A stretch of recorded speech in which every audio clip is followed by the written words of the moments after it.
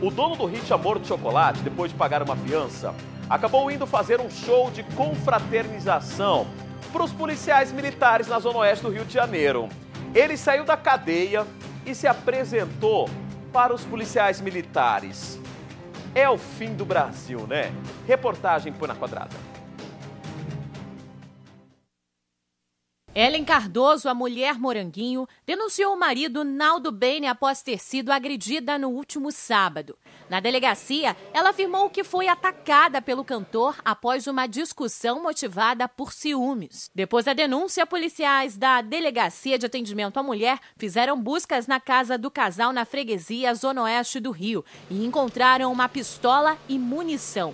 Naldo chegou a ser preso em flagrante por posse ilegal de arma, mas foi solto após pagar fiança. Depois de deixar a delegacia, o cantor Naldo Bene seguiu para este sítio que fica aqui em Vargem Pequena, na zona oeste do Rio. Ele veio cumprir um show que já estava agendado há cerca de um mês. A festa era uma comemoração de fim de ano de policiais militares do batalhão de Jacarepaguá.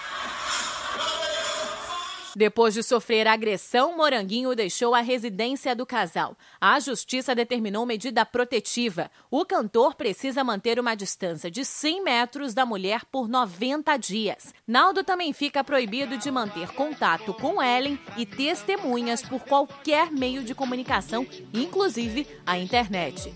De acordo com o depoimento da dançarina, as agressões já aconteciam há pelo menos sete anos.